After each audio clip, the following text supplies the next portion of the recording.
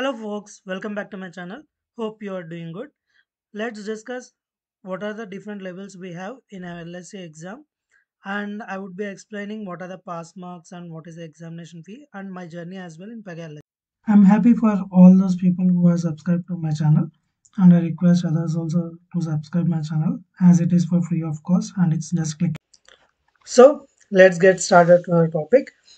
So this video is mainly for the people who are aspiring to become LSAs in future and who are already done LSAs in older versions. So this experience or these levels is for 8.8 version that LSA I have did.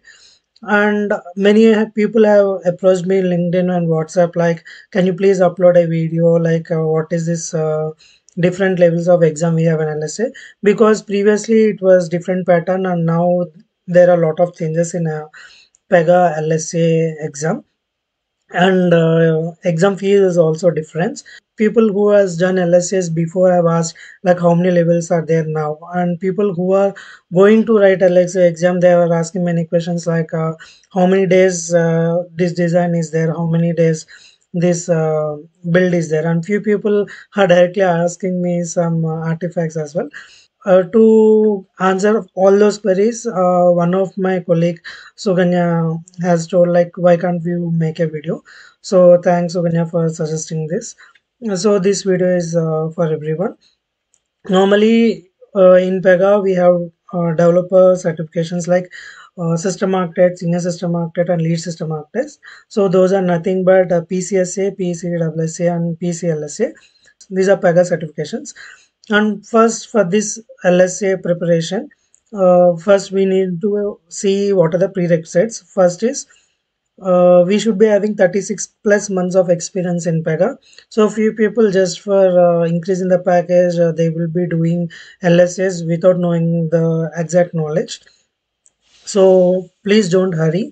Uh, have some good expertise and then you do lsa if you just do lsa without any knowledge then you will be facing so much heat when you're facing client and when you are leading a team and next you should be having cs and cssa of course and it's better even though you did CSA or in older versions, just uh, revise uh, the CSSA course with the latest version whenever you are going to give an exam. So as I have did in 8.8, I have given CSSA as well in 8.7 to know the latest concepts uh, in CSSA as well. Next, CLSA course. So you can find like uh, once you log into academy.pega.com under trainings under view certifications you can see uh, this lead system architect. So in this if you see here lead system architect 8.8 mission you can see. Once you click on it you can see different topics. There uh, you have uh, some exercises as well. Don't skip those exercises. Those are very useful. Take your time. No hurry. Uh, do one after the other so it's not like uh, within two months you have to finish because it's very costly exam and it is very useful.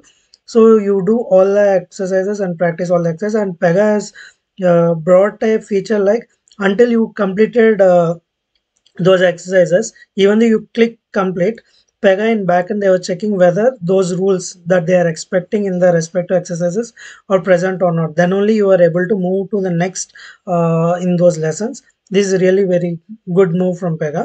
Next you have architecture exam. You can see here lsa architecture exam. This architecture exam you have to uh, book through pearson vue so you know that pearson is our partner where we do certifications. You can do uh, from your home um, and uh, following their guidelines or you can go to some pearson centers as well and that architecture exam cost is around 175 us dollars. After that architecture you have to go for pega lsa or build. You can see here register for lsa design or app build. So this uh, registration you have to do from pega pdn only. You no need to go for pearson center and that would cost around 650 us dollars.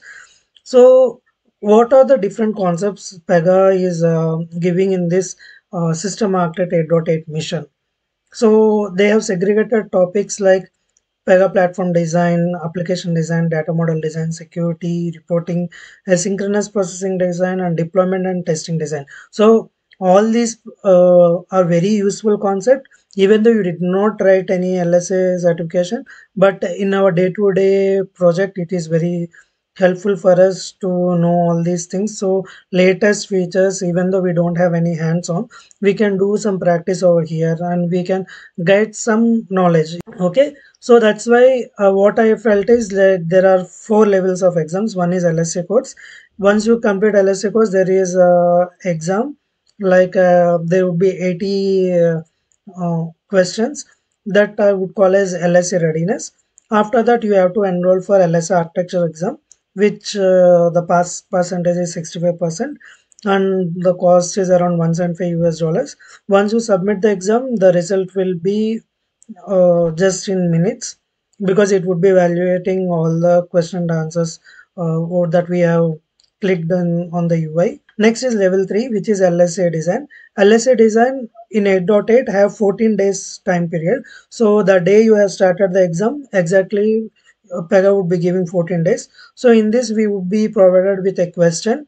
Uh, that question we have to read thoroughly and we have to see how we can uh, implement uh, that uh, respective project that question is nothing but a entire business scenario of a project so you have to build a project from end to end with uh, the scenarios with the different actors with different portals that pega is expecting so they would be explaining some scenarios like uh, to uh, do an approval process level 2 approval process skill based routing or mashup or uh, integrations like that. So based on that question you got you have to be make sure that you have to write a design document. Here we would be writing a document and that sample document also pega would be giving like uh, what are the headings they are expecting. So you have to fill those details and you have to give a picture representation as well if needed. Uh, make sure that you cover all these topics in your design document. If you miss any one of this you would be failing that exam so once you completed that uh, particular design document you make sure to read from evaluator perspective and see okay by understanding this you got a clear idea on the question you got or not. Because this design is very important you should not deviate your build after you have submitted the design. Suppose you have submitted design document uh, with some approach and you have built uh, your application with some other approach then you would be failing the exam and again you have to start level 3 this design exam pass percentage is 75%. If you are uh, above 75% or equal to 75%, you would be passed and you would be promoted to write a build, which you can start from 30 days of the result of design. So within on 30th day, if you start the exam of build, you will get seven days of time as well. Suppose you got around 65% to 75%, the Pega would be giving like see we have seen these many faults in your design.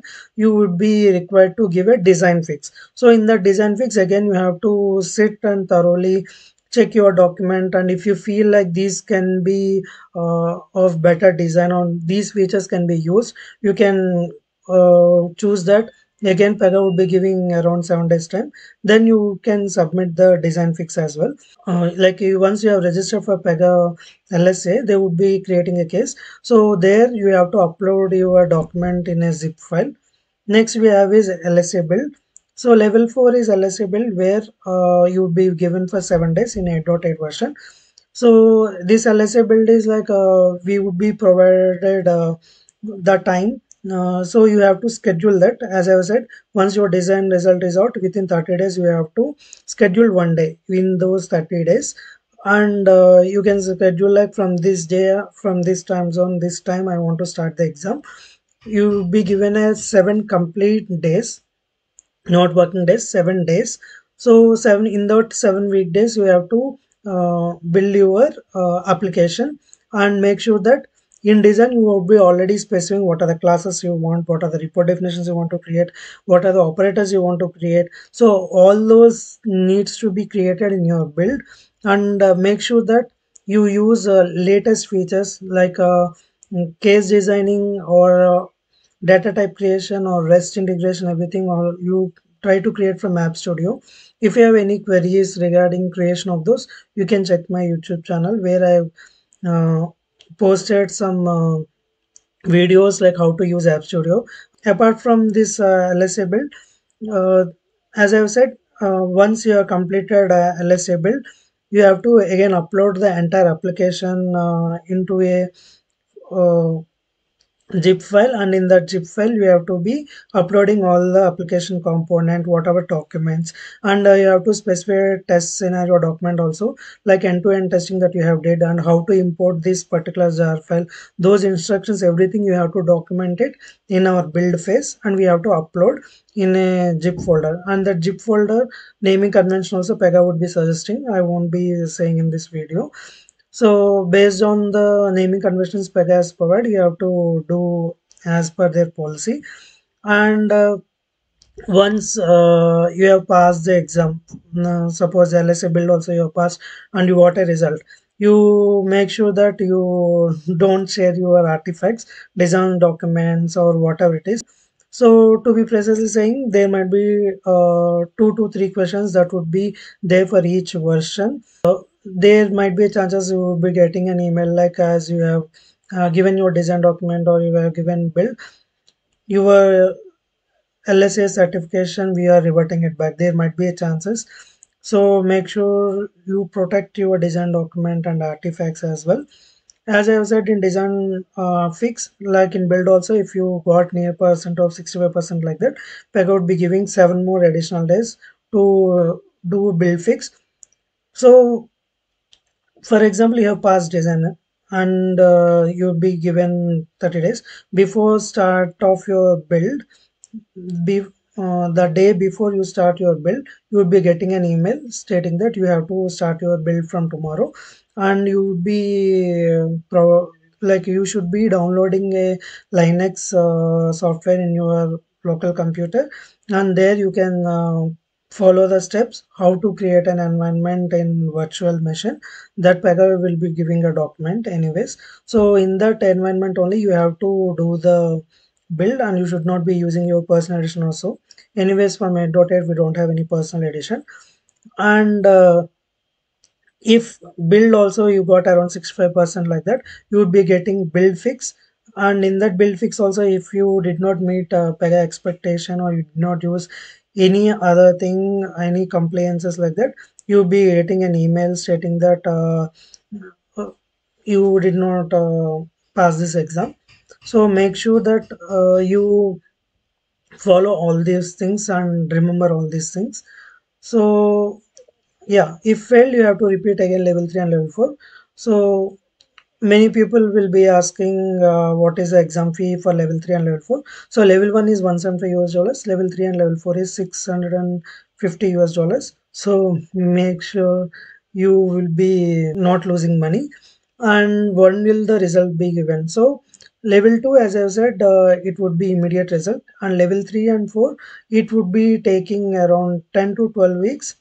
Okay so before uh, your uh, build phase uh, uh, like uh, in design you will be uh, submitting some document and if you pass nothing will be coming to you. But before build you will be getting an email. This would be the mm, design feedback. This is my design feedback for your design application. So it would be stating what are the uh, changes you can expect to do. If you do that and uh, without deviating major design that would be fine would be passed. And coming to my journey i started uh, my career in 2012 in tcs but later uh, in tcs uh, only i moved to pega domain. Um, thank you tcs for introducing me this pega world. And I did my CSA in 2015 and in 2016 CSSA. I did CPDC in 2017 and uh, there is one retired uh, certification CUIS I did in 2018 and later I did CRSA robotic uh, certification in 2019. Then I have thought like okay every year I'm learning something new. Why can't I go for uh, CLSA? So readiness I did in 2020 and CLSA part 1 2021 I did Later, I did CPBA in 2022. As uh, I have said, we should be uh, knowing a updated course. So again, I did my CLSA exam course uh, uh, mission in uh, PDN. Then I did my CLSA in 2023. And so this is my journey So don't rush for uh, CLSA. Uh, take your time, study, go through, don't waste money, and keep your artifacts safe. Thank you. Thanks for watching this video. Please do share, like, comment, and click on bell icon for immediate notification when I have uploaded the video. Please share to your colleagues and peers who are interested in.